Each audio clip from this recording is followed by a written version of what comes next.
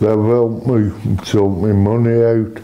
They've helped me with um, all my bills.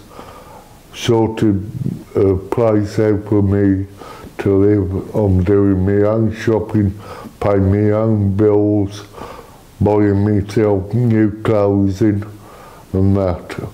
Without their help, I wouldn't be here now. We wouldn't achieve the successes we have without uh, full partnership working with charities, with third party organisations who can often relate uh, if it is someone who speaks a foreign language as well very directly rather than someone in a, potentially in a uniform because that we know there is a fear of authorities amongst vulnerable people. So for example, uh, the Palm Cove Society uh, do a great job uh, and have done in the instance we heard about.